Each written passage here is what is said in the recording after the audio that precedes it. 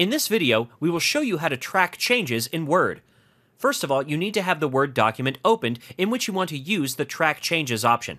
Now go to the Review tab and click on the Track Changes drop-down button. From the menu, select Change Tracking Options. In the Track Changes Options window, you can change the markup colors for insertion and deletion as per your requirements. You can always change the markup action as well. For the purpose of this tutorial, we will underline all the insertions in blue, while all the deletions will be strike through and bear the color green. Once you have made the changes, click on the OK button in order to apply them. Now go back to the tracking section and click on the Track Changes button in order to track changes made to the document. We will delete a line and you will notice that it will be strike through and green in color, just as we specified.